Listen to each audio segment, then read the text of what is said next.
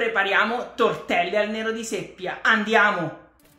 Semola di grano duro, farina tipo 1, un bel buco al centro, mettiamo le uova e aggiungiamo il nero di seppia.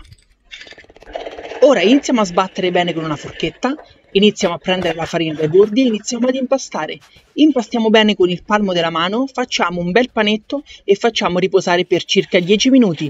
Ora con un tagliapasta andiamo a formare dei bellissimi quadrati e sopra andremo a mettere il nostro fantastico ripieno a base di ricotta di bufala e nocciole. Ora pollice e indice andiamo a chiudere i nostri fantastici tortelli.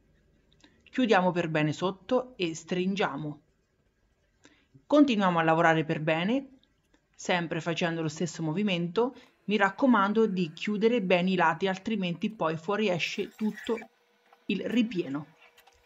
Ed ecco qui i nostri fantastici tortelli al nero di seppia.